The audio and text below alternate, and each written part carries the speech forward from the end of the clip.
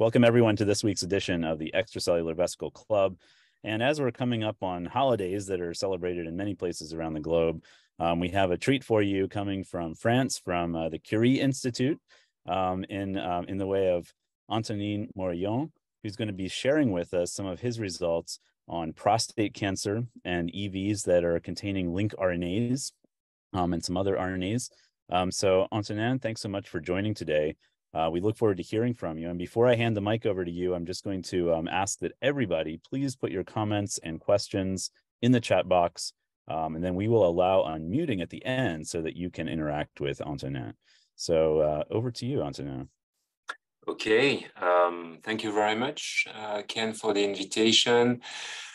Um, thank you very much, everybody, to be there today. Um, two days ago, it was difficult for me to make a talk because of the, the, the football match, as you know, but today is much better. So I'm, I'm ready to, to go into uh, science. So I'm going to share my screen. What I'm going to do um, is to talk about um, long non-coding RNA and cell-to-cell -cell communication. So first, so the, the, my talk will be divided in three parts. The first part um, uh, will be a, a, large introduction on uh, the non-coding genome and long non-coding RNAs, what we know uh, today. Um, then we're going to move to uh, published data that we have um, uh, produced uh, and published this year on a comparison of uh, the, the, full total transcriptome between um, urinary um, extracellular vesicle and tumors from prostate cancer patients. And then I will navigate in the, in the last part on um, using um, unreferenced RNAs as biomarkers for uh, prostate cancer still in the, in the urines of the, of the patients. So what I'm going to, to, to start with is um, the idea that 99% of uh, our genome is uh, non-coding. Uh, and uh, this um, has a very, um, has raised a lot of interest uh, recently uh, because this non-coding genome is indeed transcribed into non-coding RNAs or long non-coding RNAs are specific classes of these non-coding RNAs. And these RNAs can have functional uh, significance in the cells, uh, controlling the gene expression mostly. And this has been shown in the nucleus uh, from epigenetic transcription and splicing events up to in the cytoplasm, where they can control, in some case, uh, RNA stability, uh, titrate some microRNAs, and also be translated uh, into uh, small peptides or micropeptides. And so um, today I'm going to touch a little bit uh, this type of function and uh, especially the last one, which is the less, um, um, let's say, um, understood today. Um, so um, the non-coding, the dark side of the genome or the pervasive transcription of the, of the genome um, can um, generate uh, a large variety of uh, long non-coding RNAs that have very different uh, features. Uh, and they can be classified uh, depending of, on their sequence, on uh, of origin, on their localization in the genome. And so in this slide, what I show is a, a, little glimpse of the different families of lncRNAs that can be found in human cells, in human genome. So eRNA for enhancer RNAs, um, uh, antisense cryptic transcripts such as the prompt RNA, antisense lncRNA, the NAT into the open reading frame, uh, telomere uh, lncRNA for TERRA, uh, and so on. They can be repetitive RNAs or uh, unique RNAs.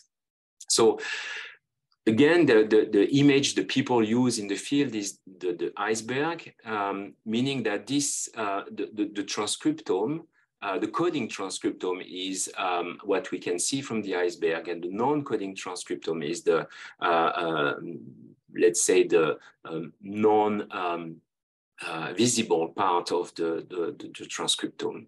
And as for the iceberg, this is very important for the maintenance and the uh, expression regulation uh, of the genome. So a large part of the work in the field is to uh, illuminate this dark genome or this uh, dark matter of the genome to try to understand the function of these RNAs and what they do in the cell. So most of these RNAs are uh, repetitive uh, sequence. Uh, and uh, for the 40% remaining, uh, they can be dispersed in the different category as described on this, uh, this um, picture. The second specificity of these lncRNAs um, is their um, um, specificity in cell type and specificity in tissues. And this has been first uh, largely uh, shown by the ENCODE um, work in 2012, uh, where on 14 different cell lines, um, uh, it was shown that most of the messenger RNA uh, represented in the, in the red uh, diagram here are expressed in all the cell lines. Of course, there will be a series of messenger RNA that are specific to each of the cell lines, making the identity of the cells. Um, but this is a very different story for the lncRNAs, which for the vast majority of them, they are expressed in only one cell lines. So uh, on the series of 12,000 um, of lncRNA at the time, um, uh, you have 2000 per cell lines that are expressed. So most of them are expressed in only one cell lines. Again, pointing the idea that they might participate to the cellular identity. In terms of chronology and how they have been uh, discovered and described over the years, everything starts at the beginning of the molecular biology, where the first RNAs that were studied at the time in the 50s and 60s are non-coding RNAs, ribosomal RNAs, tRNAs, SNO RNAs. Um, and this is only in the 90s um, uh, or late 80s that single regulatory lncRNA or small non-coding RNA were uh, uh, described and uh, some of the mechanism shown. So this is the case in bacteria for MicF, H19, XIST, LIN4 and 93, etc. And then um, the, the field changed uh, by the emergence of genomic uh, approach and microarrays first, tiling arrays, and then sequencing and systematic sequencing.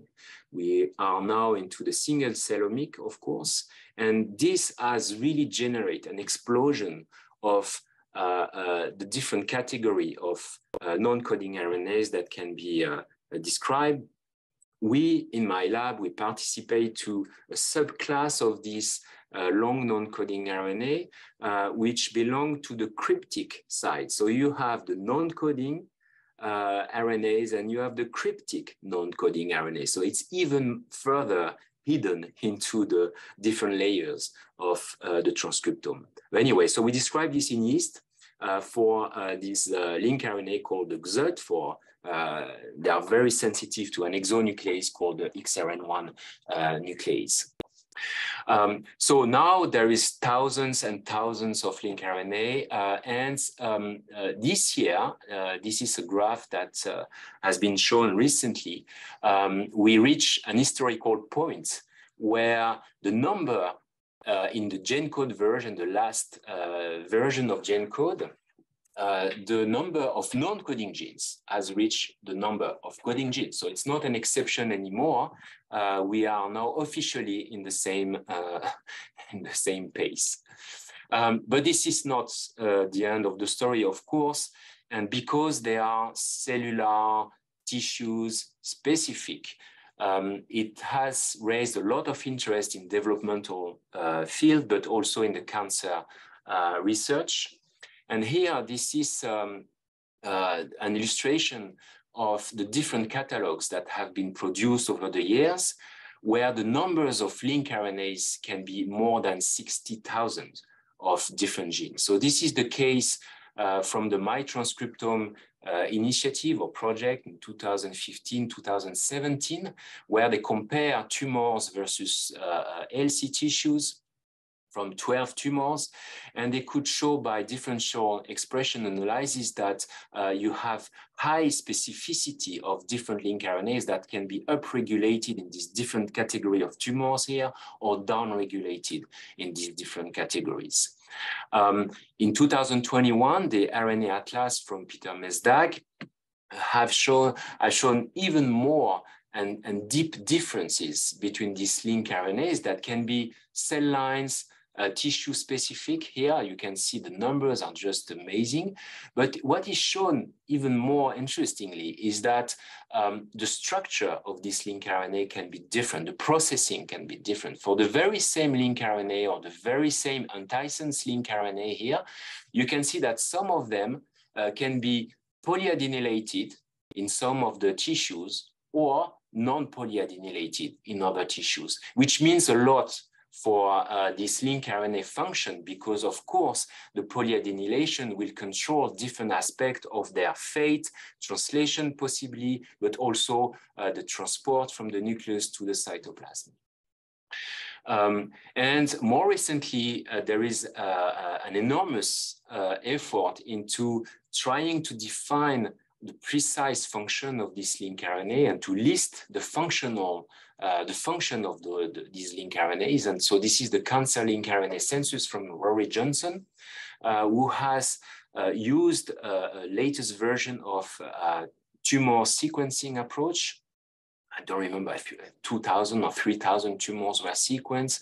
And so in addition to describe all the lncRNAs within these different tumors, so more or less the same as what has, done, has been done in MiTranscriptome approach, he also look at um, the capacity of this lncRNA to have an oncogenic uh, function or tumor suppressor function. And he defined at the time 130 of these lncRNA having uh, function in cancer, and the catalog has been um, uh, updated uh, recently, and they have reached now for um, 400 and so uh, of lncRNA having a function. So they call them cancer lncRNA census.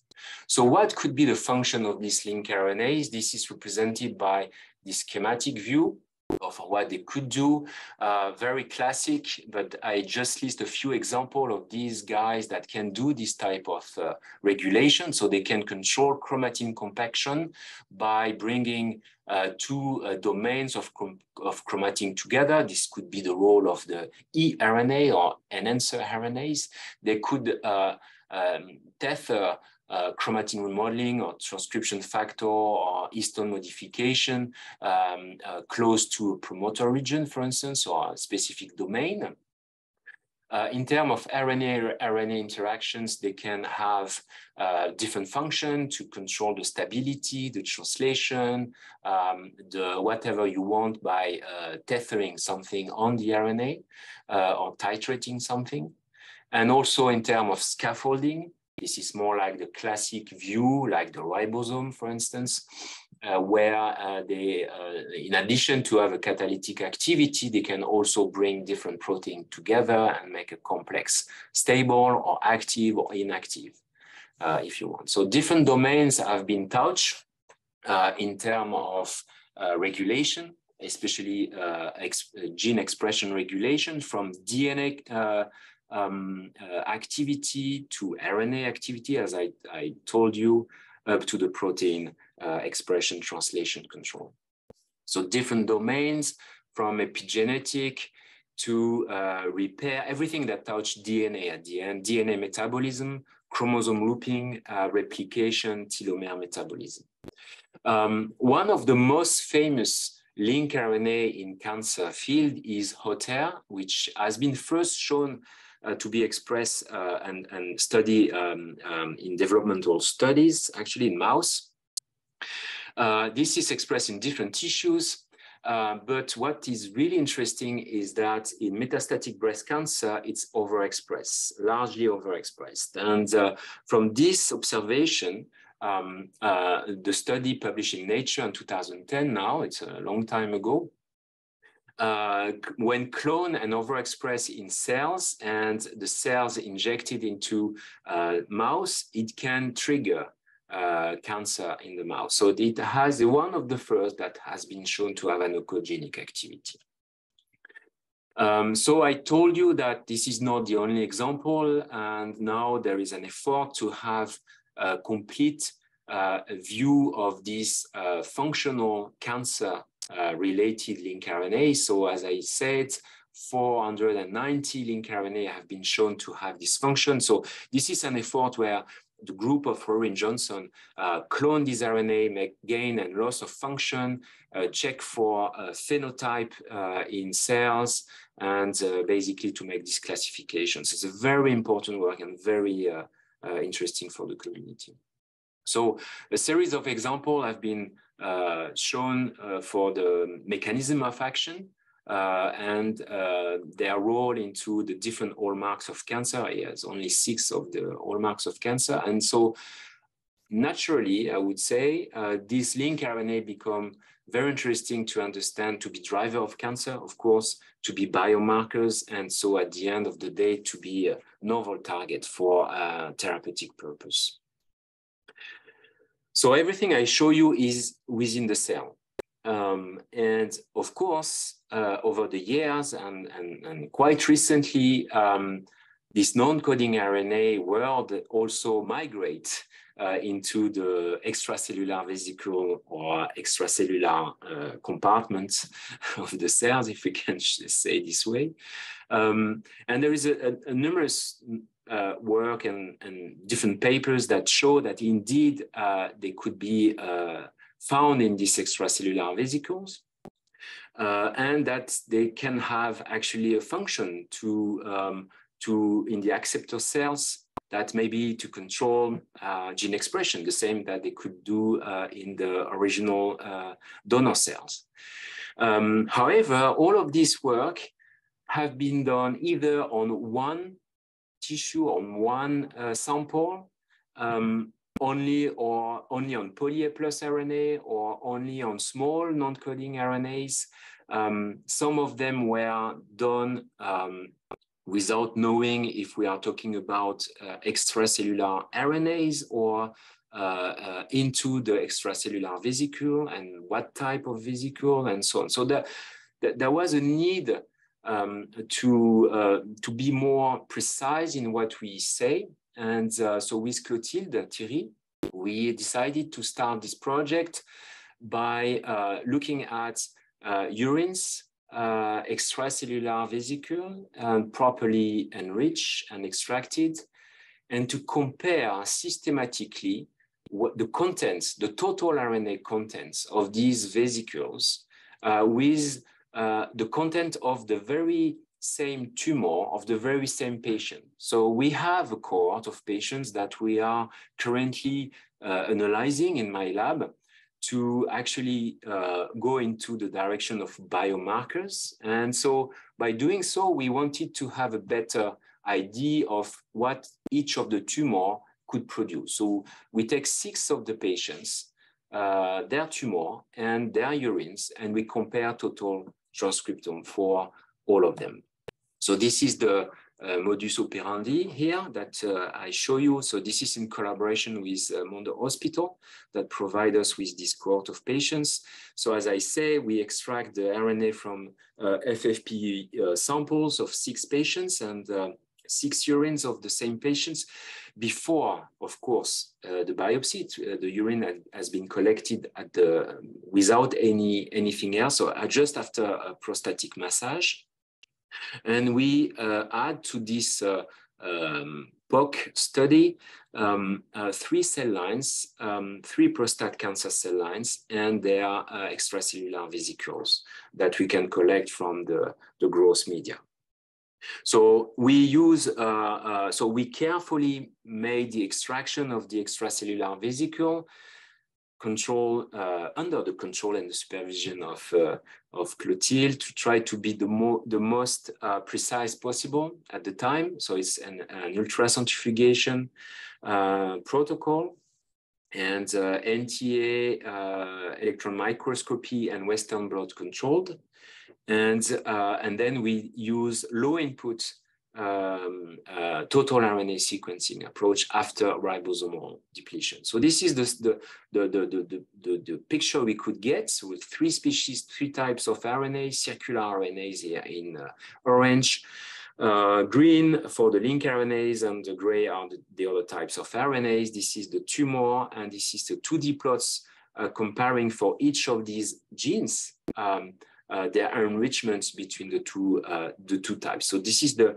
the the the average or the mean of the six patients uh, and six urines. As you can see already on this graph, the orange is much more going into the uh, urinary EVs than the, in the tumor. So suggesting that there is a strong enrichment of this category of RNAs.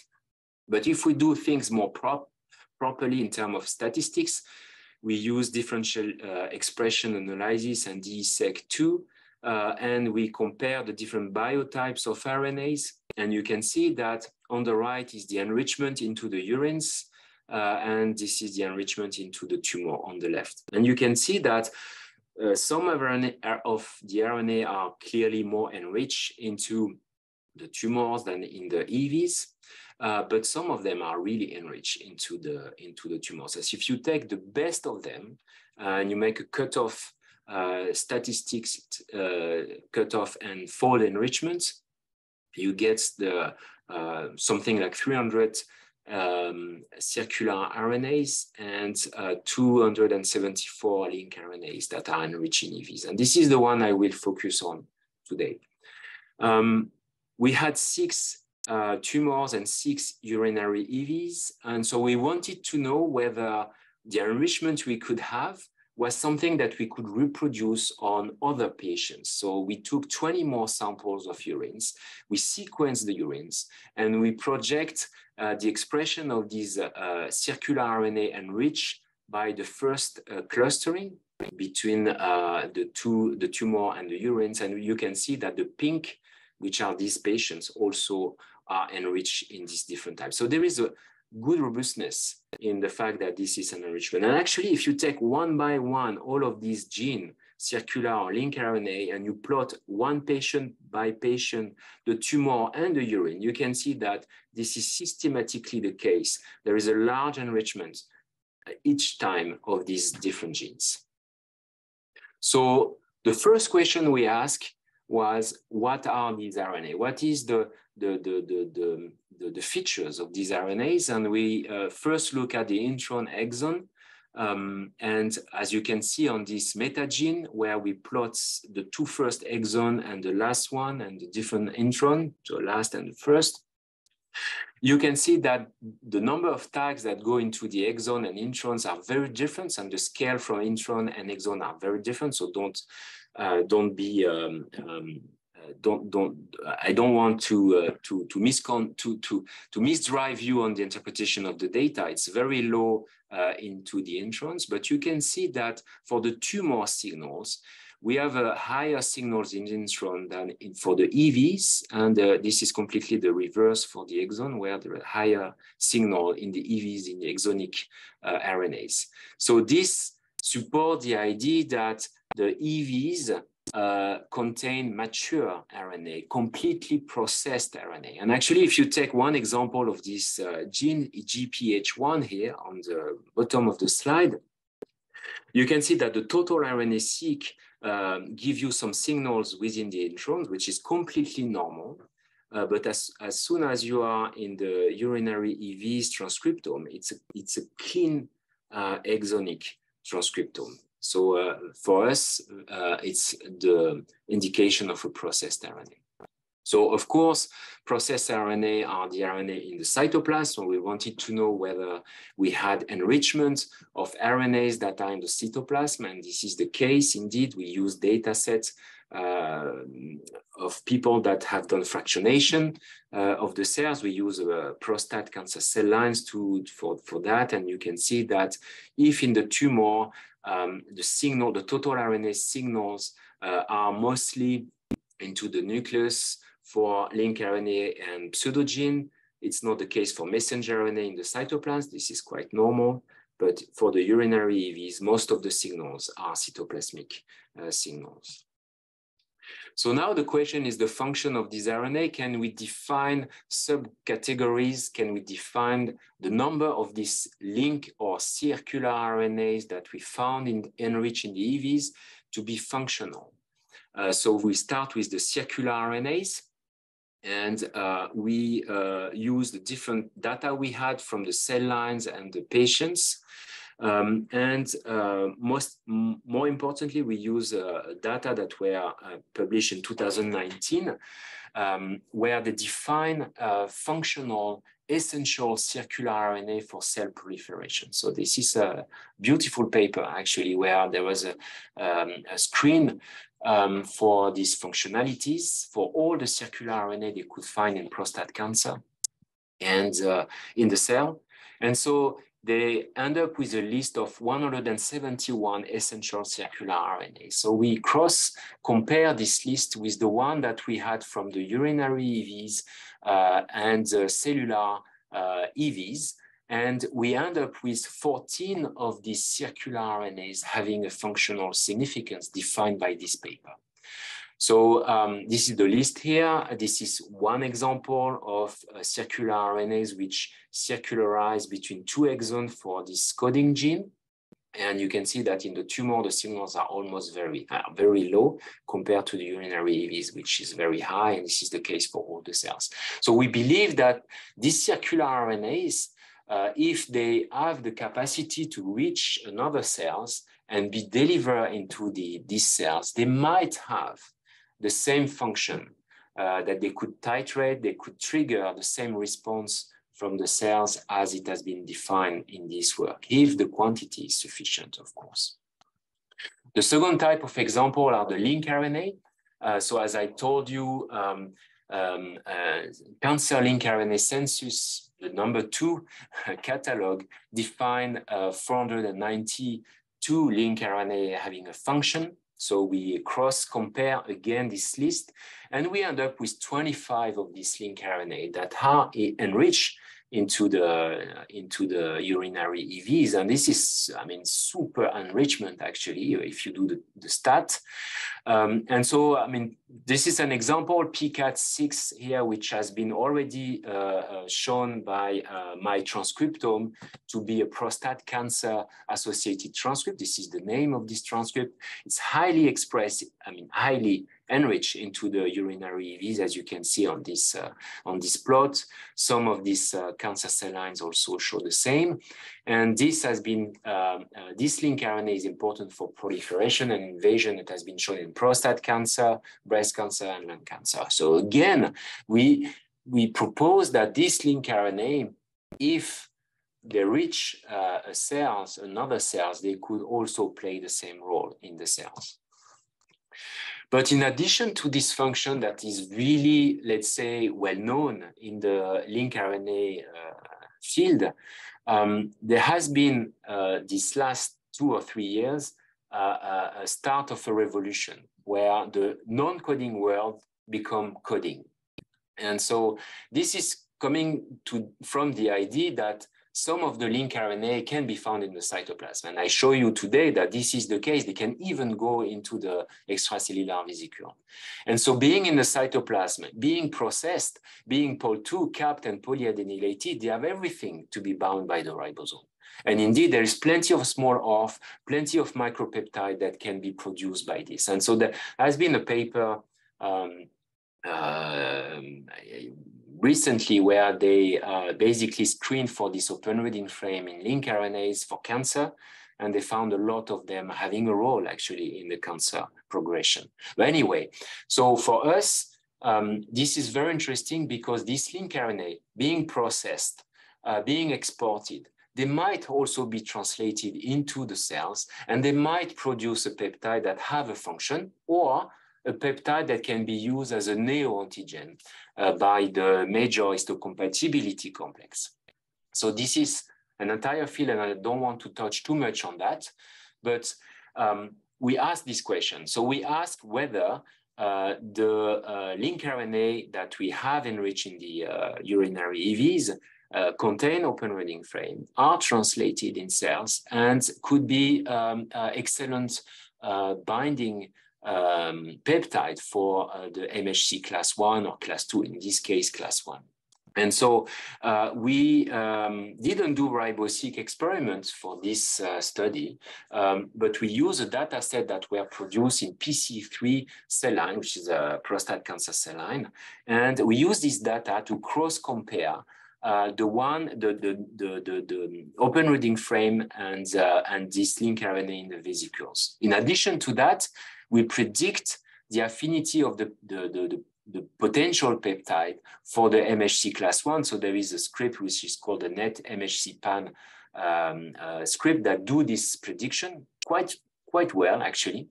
And so we could define 15 lncRNAs that have a, a, an open reading frame, that have a very high prediction by the net um, the net script that can be found also in PC3 cell lines. So we could compare for these 15 uh, lncRNAs, we could compare their signal with riboseq. And so some of them have a signals, which doesn't say that the other one are not translated, but at least with this, with this riboseq experiments, they were not detected. We also perform mass spectrometry analysis to look for the peptide. And again, it's not, it doesn't say that the other one uh, are not uh, translated, but we couldn't detect uh, by mass spec. And um, we uh, could isolate one guy, for instance, this one with a high prediction in NET, being a urinary um, uh, vesicles, uh, being translated by, actively translated by riboseq in cell lines, and having a peptide that we could uh, uh, propose as a, an excellent neoantigen if translated uh, and put on the surface of the cells. So again, this is only um, um, speculation. We didn't do immunopeptidomic here. It's only prediction and uh, speculation based on several data and, uh, uh, and mass spec experiments. So we end up with uh, these three conclusions with this work that we published this year. Uh, lncRNA um, enriched in EVs um, uh, actually are cytoplasmic lncRNAs mostly. Some of them can be uh, functional and uh, transfer can be transferred via uh, the, the, urines and the fluids, and they can be uh, they can be translated. So the, the the the the little model that we the naive model that I propose already uh, during my talk is that these lncRNAs uh, could be exported to an acceptor cells and um, in the cells, they could perform if they could, if the proteins, the factors, the environment is, is, uh, is sufficient for them, they could perform their regulatory role that could be changing the, uh, uh, the genetic program or the cellular identity. But they can also produce peptide and they could uh, uh, produce neoantigen to these cells that might not be cancer cells and that could be uh, or trigger an immune response uh, if, uh, if possible. So we propose that EV link, lncRNAs could be active players in cell-to-cell reprogrammation and identity. So now um, I'm gonna, if I have some time, I did this morning, I, am I'm the limit. So I, I, will finish on that. I will not present the biomarker aspects. Um, I just want to um, can you okay Antonin, Antonin, if you want yeah. to, feel free. Feel free to go ahead if you if you'd like okay. to share more. Okay. Okay. So I just I just want to to share with you um, some ideas and some and some uh, calculation we have made recently based on publication. Probably some of you guys have done it already in, in your lab. Just to to exchange on that. So ju just to everything I told you today. Um, if if there is an action of this RNA from one cell to another, the RNA has to be intact. Otherwise, I mean, it's losing a little bit of its sense. Even if we are talking about small peptides, small open reading frames, I mean, the size is, is does matter in this case. And, and if you do the math, if you do the calculation, if you look at the um, uh, bioanalyzer of the quality of the RNA that you extract from this extracellular vesicle, you end up with small RNAs. I still don't know if the small RNAs are, are uh, due to what is inside this uh, vesicle or because of the extraction. I have no idea of that. Um, but in terms of size, what is possible? if you take a volume of cells, this is the number. If you take the volume of EVs, more or less, you have this range, if I'm not completely uh, wrong. Um, different papers and measurements. And now if you take RNAs, if you take RNAs, this is the different RNA. One, I mean, this, this has been published also.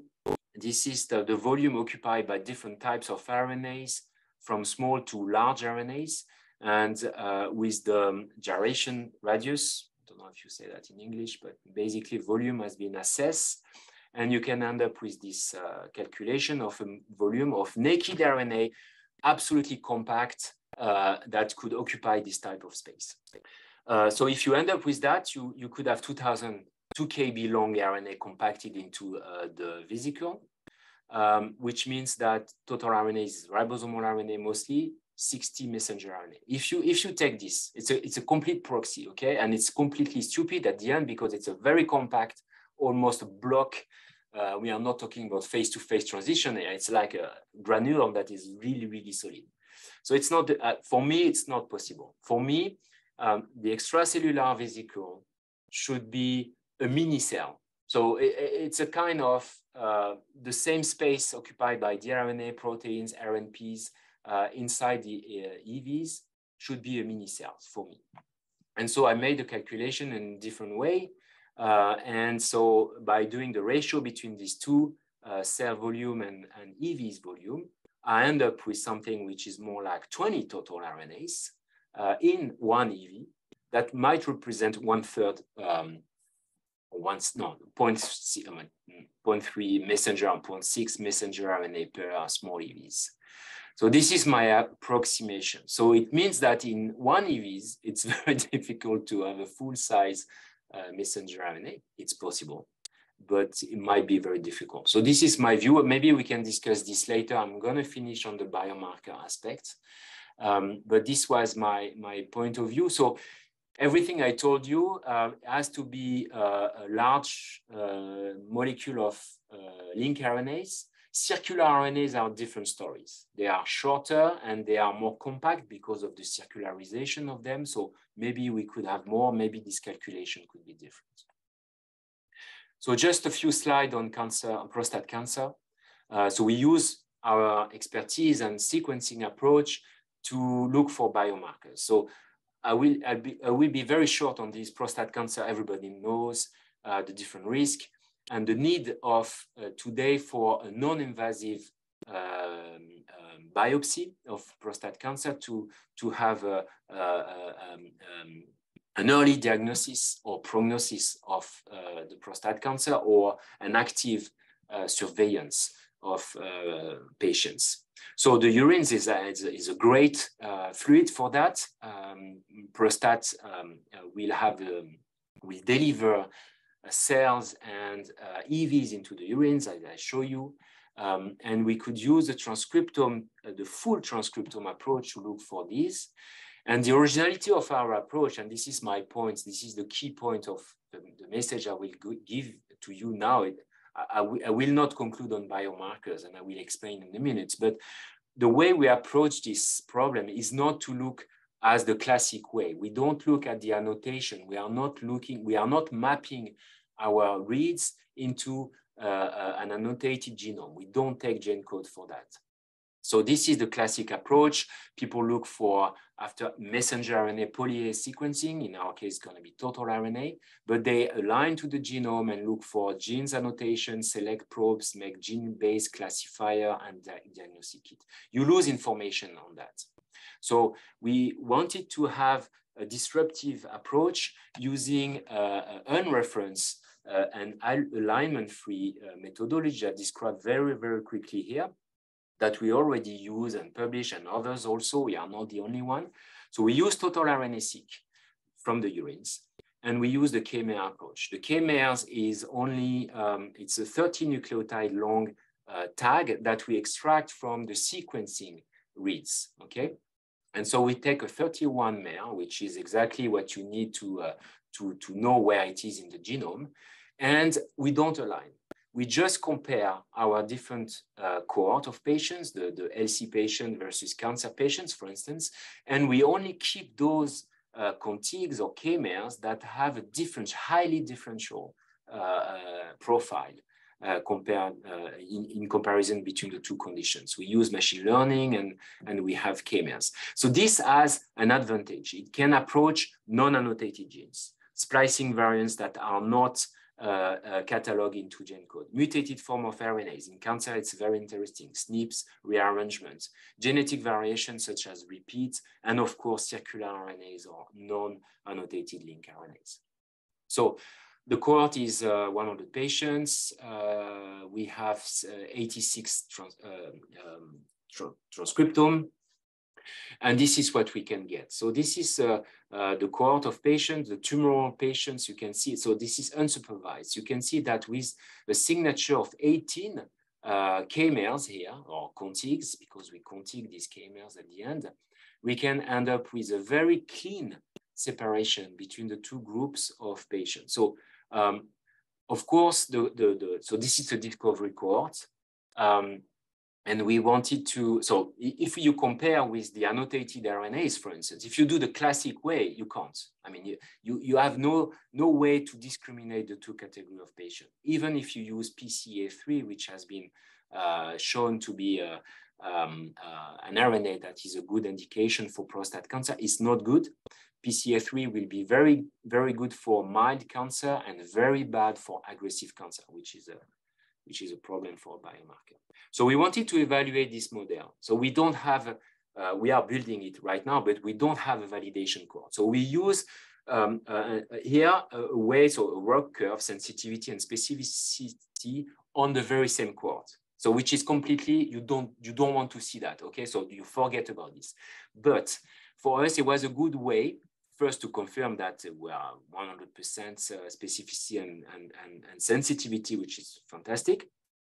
But uh, we could compare uh, what we could get with the other markers that people have proposed for cancer prostate. And you see PCA3, which is a um, FDA approved uh, biomarker, is very far away from our reference. So now we are using an independent cohort. So uh, I don't want you to have a false impression. It's just a first idea.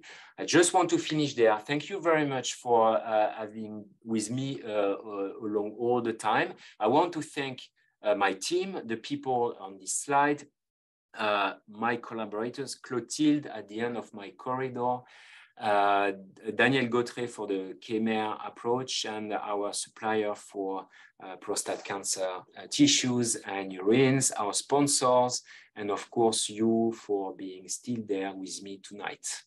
Thank you very much. We will actually have our discussion moderated today by somebody from my lab who has special interests in RNA um, and who has worked a lot with viruses. So maybe we'll hear a little bit about how viruses package their RNA um, we can think about that because of the uh, the close similarities between envelope viruses anyway and and EVs. Thanks, Ken, and uh, great talk, Dr. Morillon. Um, before we get into the the chat questions, I had I had a quick question I wanted to ask um, about mechanisms of uh, non-coding RNA loading into the EVs. Um, given that you given that you saw enrichment in in uh, some of these EVs coming out of the prostate cancer in, in the urine, um, enrichment implies some sort of you know mechanism for for for getting those RNAs into the EV. So do you have any speculations on on how these uh, non-coding RNAs are being loaded? Yeah, so only speculation. I think this is the right term. Um, we, we we are looking for motif. Uh, I mean the the the, the story in the Nature paper published last year, I suppose, uh, for microRNAs, where there is this um, uh, this uh, sequence uh, that is really important. This motif that make these RNA to be uh, to be into the EVs. Um, so we look for that. We look for motif enrichment. We we couldn't find something. Uh, I have to say, and uh, and again, I mean, I, the speculation. So this is first. I I can't say now. If you take this slide that I have there, where I speculate on the idea that we have pieces of RNAs. And so at the end, we have a full transcriptome. We have tags all along the RNAs. And there is, it's not like one tag, it's everything on the RNA has been touched by the, by the sequencing. So it means that at least if there are pieces of RNA everywhere in different EVs, they all should have the same motif uh, to, to be enriched. So, so I still can't figure out things there. And I have to say, I'm a little bit lost and I don't know. Uh, but what I can say is that there is an enrichment, it's robust. Um, uh, we can see some of this enrichment also in cellular EVs, so from in vitro experiments. So there is something. Uh, what I don't know.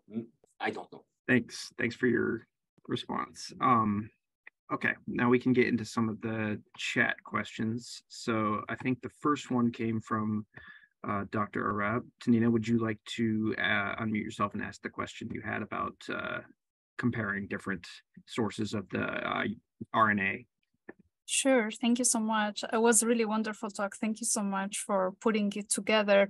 I was just wondering to like stay within the same level of complexity if you um, consider uh, comparing not tumors tissue to uh, urine EVs, but rather urine EVs to EVs derived from the tissue, or the other way around, the tissue to the urine directly. Um, just because of the complexity of composition of these two samples.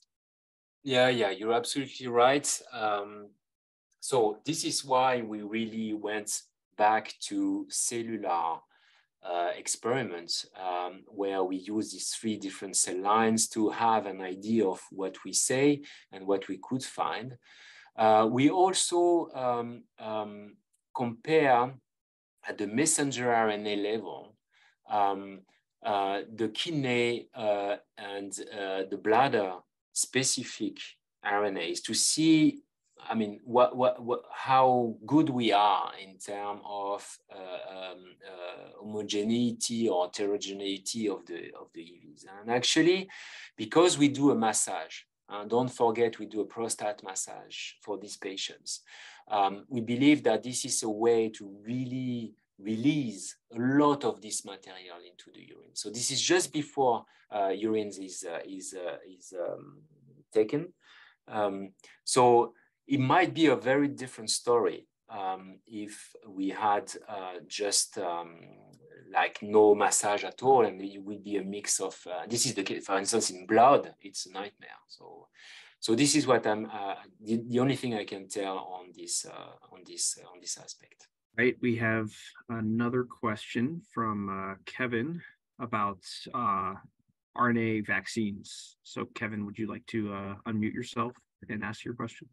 Sure. You know, as I was sitting here listening to this, it, we see and hear reports in the field of unexpected, you know, responses to the new RNA vaccines sometimes. And just occurred to me what if there are these non-coding sequences kind of embedded in the viral sequence that people haven't bothered to to look at? And what's the likelihood based on your experience and what you know about these kinds of coding uh, sequences to be also potentially um, generated um, in response uh, of the cells to the, the vaccines? And could that be a potential safety risk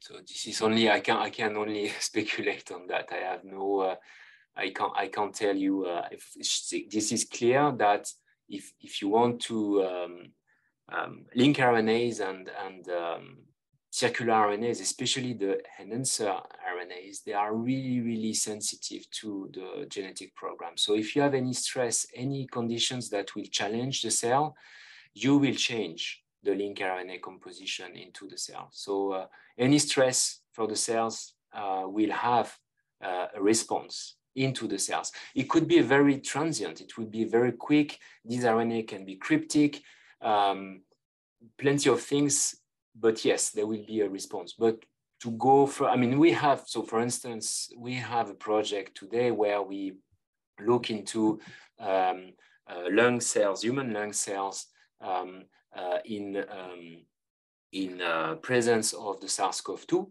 Uh, and we sort the cells uh, that have been infected and compare with the, the, very same population of cells which are not infected by the virus but have been in contact with it. And we compare the lncRNA world in the two type of cells. And this is just amazing, the yeah. change in every direction. So that's that's an interesting angle that I think probably a lot of us had, haven't considered. So thank you, thank you for your talk today. It was uh, excellent.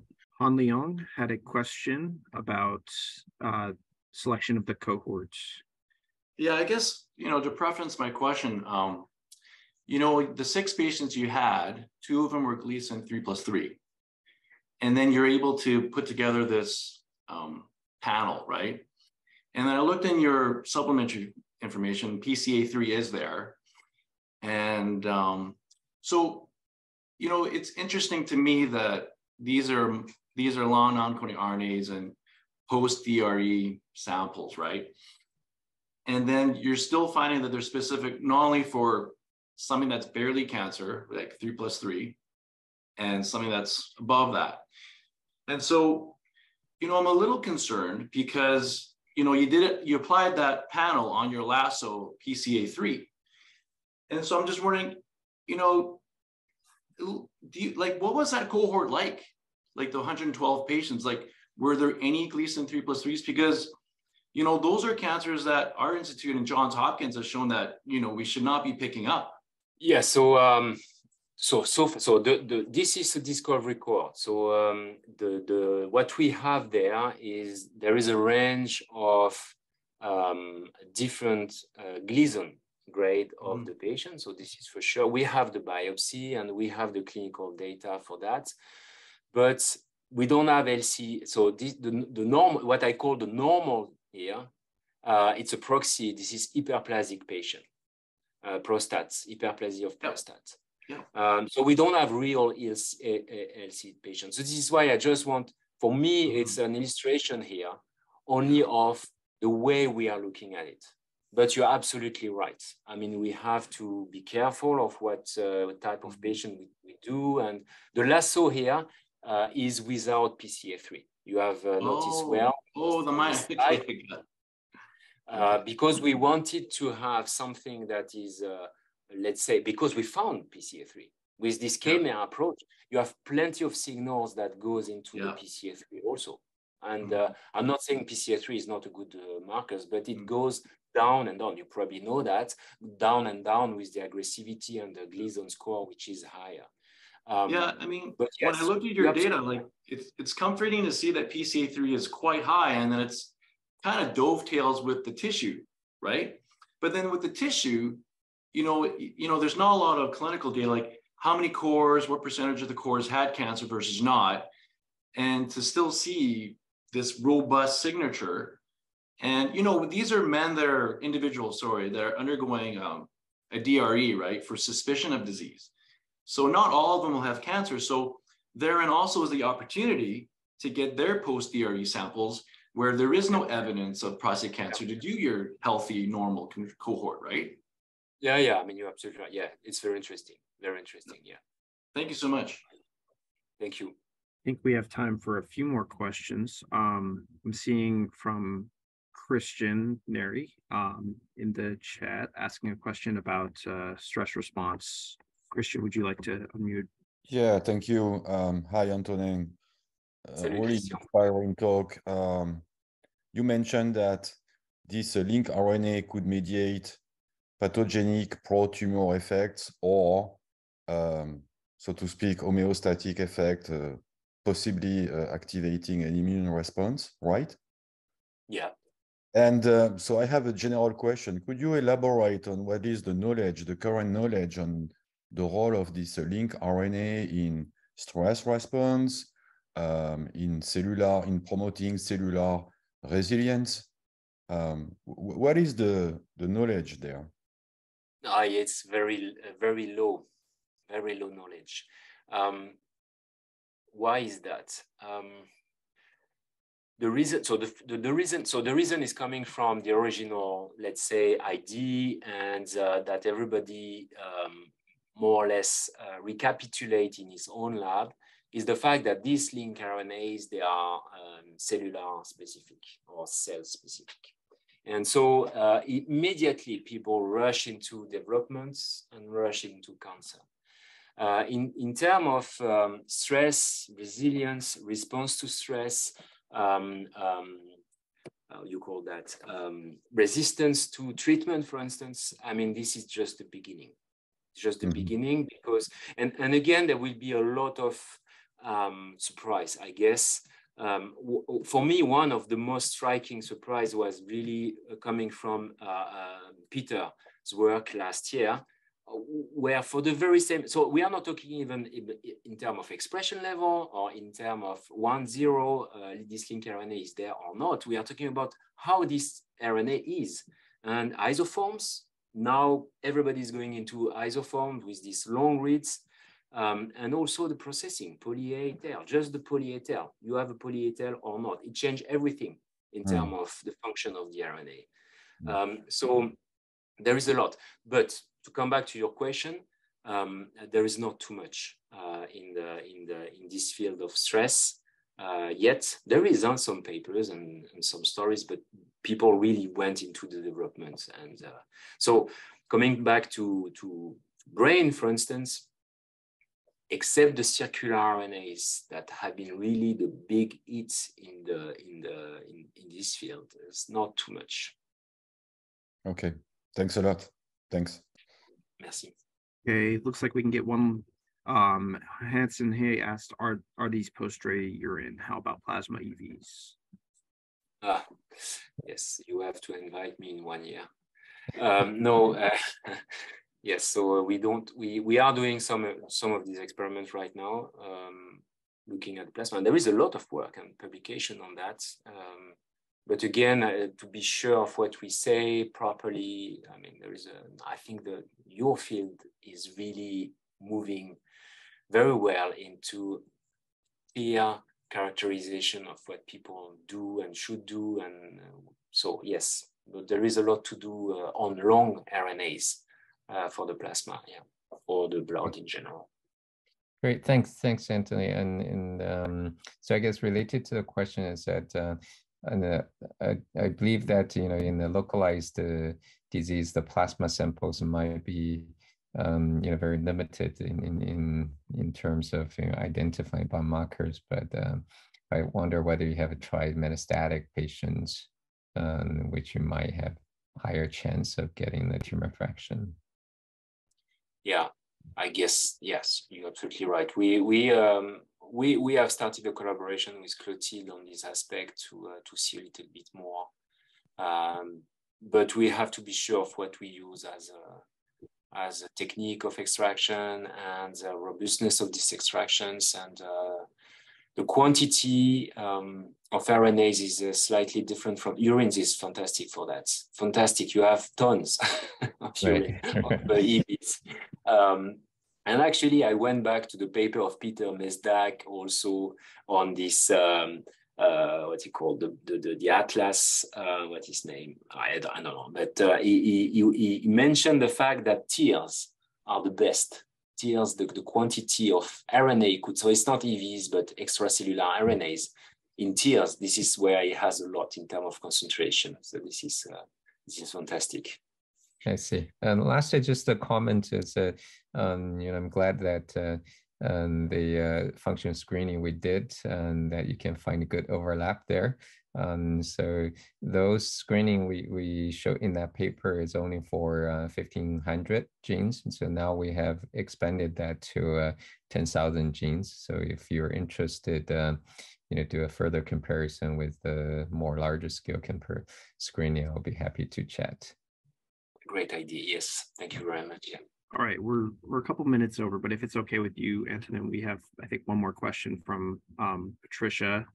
Uh, Patricia, would you like to to ask? Uh, just a general question about uh, the storage condition to to study the RNAs in EVS, because um, most uh, protocols suggest PBS it's okay, but there's some article presented this year which shows that RNA has uh, very, we have lost with uh, in this uh, PBS in condition storage. Um, what are just your suggestions about this when we are trying to start to study with uh, those uh, low uh, low no coding? Low no coding. Yeah. So I can give you um, my feeling. Um, so, so what we do in our case is that uh, as soon as the urines has been uh, extracted from the patients, I mean, produce the urines, we don't extract it.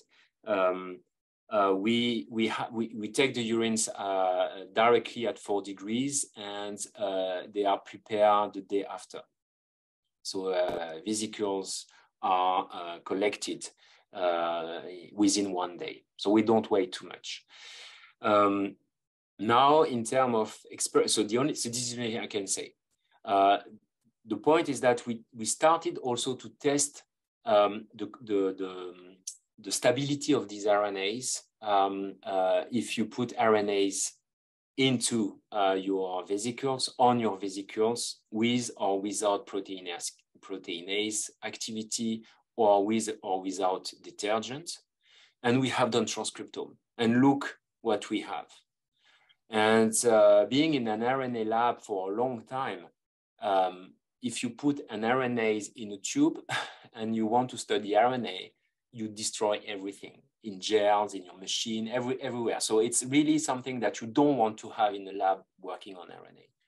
But if you put RNase on uh, EVs and you do a transcriptome, it's just amazing. They are, they are, it's exactly the same transcriptome with some variation, it's exactly the same transcriptome as if these RNAs within the EVs are really, really well protected. It's only when you put the detergents that you destroy the transcriptome.